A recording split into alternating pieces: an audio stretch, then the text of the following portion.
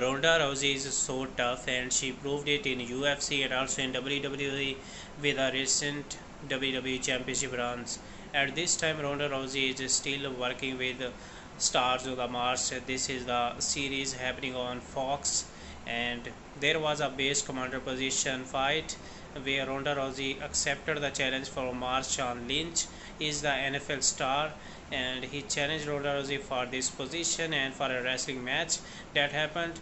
And uh, Ronda Rousey won the match with her move and Marshawn Lynch is just lost the match. And now the base commander the newly base commander is Ronda Rousey. You can see the series on Fox that is happening and the name is Stars on the Mars and Ronda Rousey doing good in the ring and also outside the ring